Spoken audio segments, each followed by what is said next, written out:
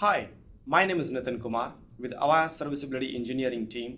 In this video, we will see how to set and check the product ID in Avaya Presence Services.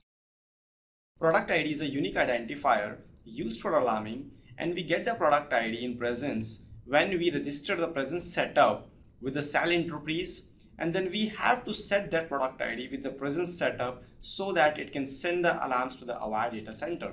We can set and check the product ID with presence with the help of two scripts set product id.sh and get product id.sh. And this is the location where we have these two scripts. I have mentioned the syntax for both the commands how we will be using to set and check the product ID. After setting up the product ID for presence, we need to restart the spirit agent because it takes the newly configured product ID for presence I'm going to demonstrate the same on a presence server.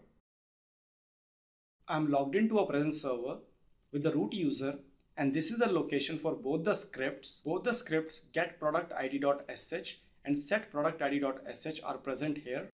I'm running the command set product id.sh with the product ID which we get after the registration of the presence setup.